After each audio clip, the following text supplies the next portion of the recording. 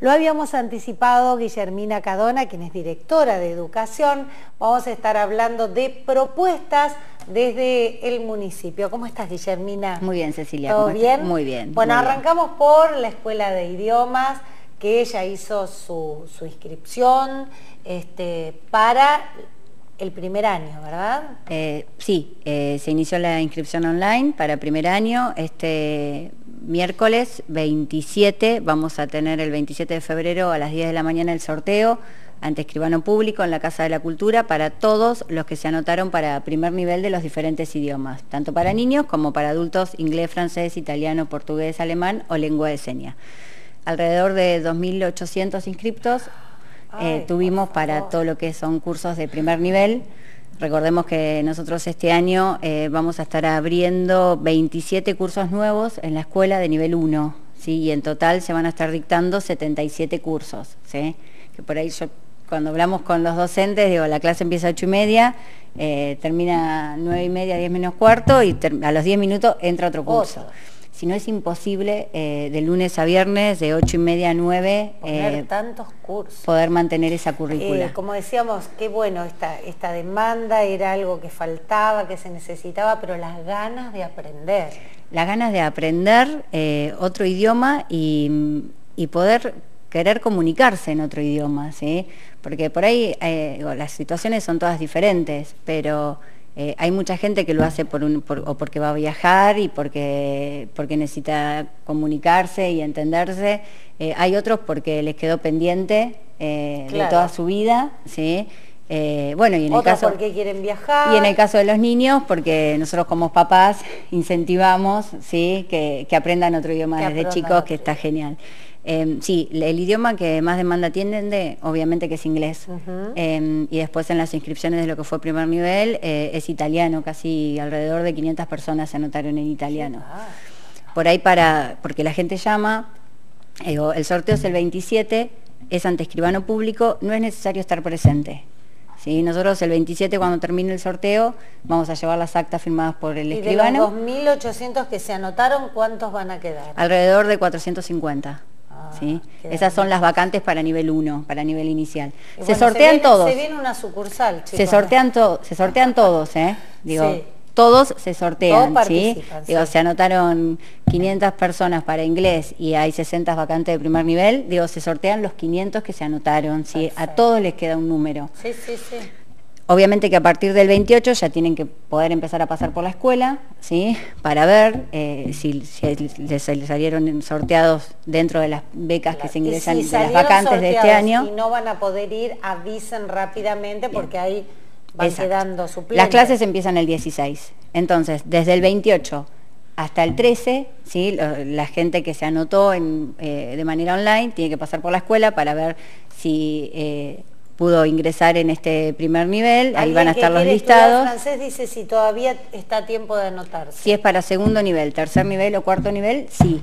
Eh, segundo, tercero y cuarto nivel de todos los idiomas y tanto y de conversaciones y de viajeros, durante toda esta semana en la Escuela de Idiomas, ya lo habíamos comentado, de 9 a 12 y de 17 a 20, eh, se están tomando los test de nivelación. Personal. Personal. Para segundo, tercero y cuarto nivel no es por sorteo.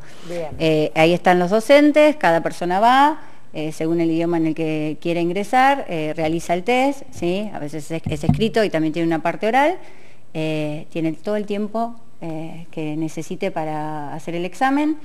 los docentes, una vez que después corrigen, en base a las vacantes, también los van llamando. Muy bien. Bueno, eso en cuanto a idiomas, que me decías que... Eh, que en las demás escuelas también se están haciendo las inscripciones. Claro. ¿sí? Porque eh, ahora la directora está tomando examen, ¿dónde? En Vela. En Vela. Sí, ayer estuvimos para reorganizar el cronograma de este año, pero eh, hoy se tomaban los exámenes recuperatorios en Vela de gente que no los había rendido en diciembre por determinadas situaciones. Eh, personales, entonces en esos casos eh, se tomaban ahora en febrero. Acá en la escuela también lo hicimos con nuestros alumnos. Muy bien. Recordemos que son cursos regulares, con exámenes, con recuperatorios y todo lo que implica. Perfecto. Eh, Guillermina, ¿te quedas un bloquecito? Bueno. En el otro bloque vamos a estar hablando de inscripciones en otras escuelas municipales, que hay muchas, por cierto, y bueno, hay, hay que difundir las ofertas. Que la comunidad ya las conoce y están muy instauradas también. Muy bien, en el próximo bloque hablamos del resto de las propuestas de las escuelas municipales.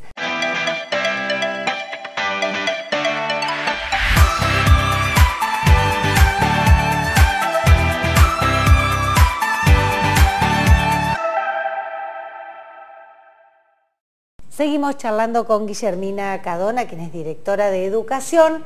Bueno, y ya hablamos de la escuela de idiomas, que es un éxito realmente la, la cantidad de inscriptos, pero hay otras propuestas. Hay otras escuelas que son también municipales, que ya están muy instauradas en la ciudad y que la gente las conoce, como es la Escuela de Danza, la Escuela de Artes y Oficios, que está... Escuela de Danza Escuela de Danza, acá en Rodríguez, llegando a Maipú, sí. Bueno, en la Escuela de Danza eh, nosotros se dicta la carrera de, danza clásica y de danza contemporánea y a su vez hay talleres para niñas desde los 5 años y hasta adultos. los 7 y talleres de adultos, ¿sí?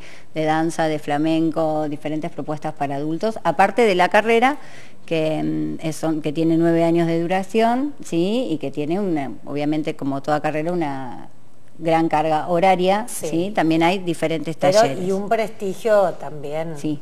Mm, ya muy reconocido. Porque por ahí la gente se cree que, o, por ahí piensa que la, niña que va a estudiar danza o el niño que va a estudiar danza tiene solamente clásico, y no tiene solamente clásico, tiene clásico, tiene música, tiene francés, tiene elongación, digo... es una carrera Es una carrera con todo un montón de, de materias, ¿sí?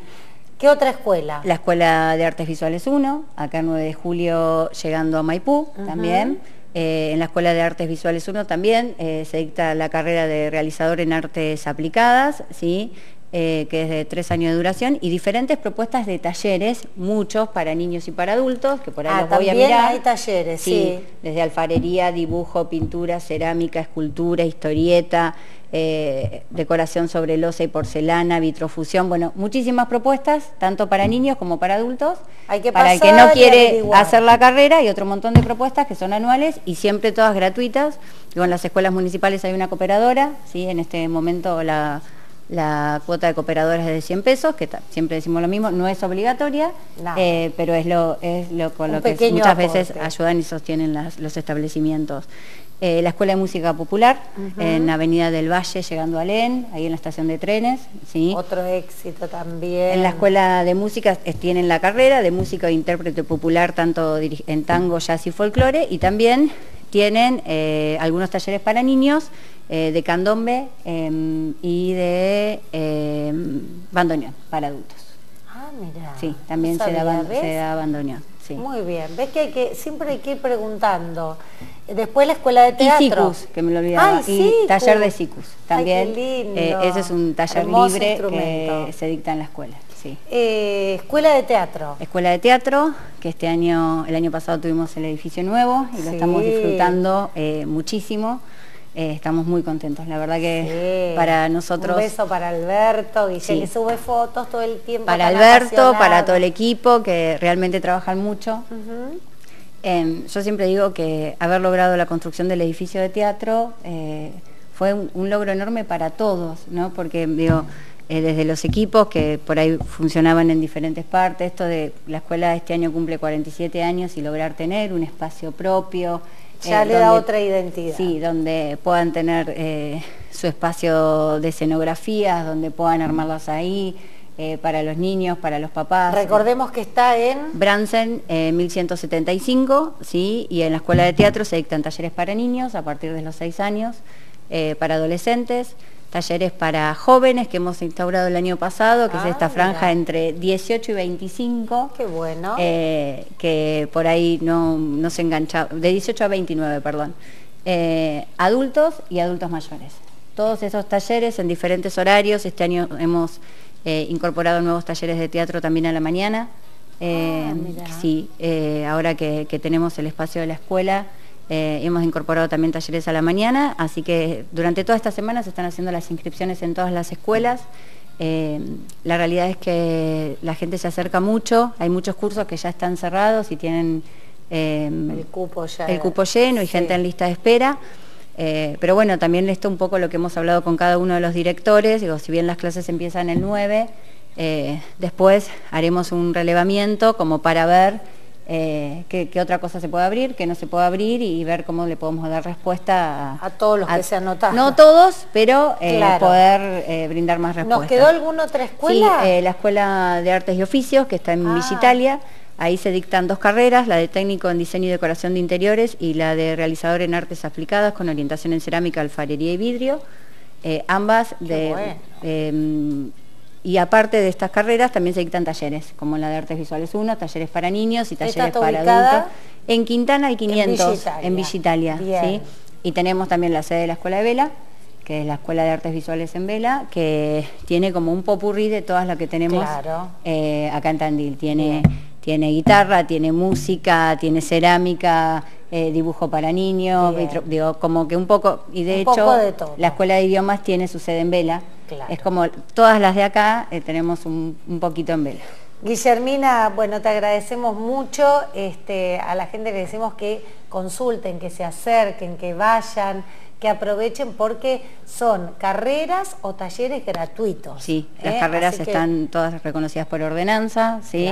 en cada una de las escuelas, así que son tantos carreras que tienen mucha salida laboral o y con excelentes profesionales ¿eh? que están al frente de cada uno de estas, de estas escuelas. Guillermina, gracias. Gracias a vos. ¿eh? Gracias a ustedes por ayudarnos a, difundir todo esto. Sin duda. Guillermina Cadona, directora de Educación, bueno, contándonos la amplísima cantidad de propuestas eh, que brinda desde el municipio de las diferentes escuelas.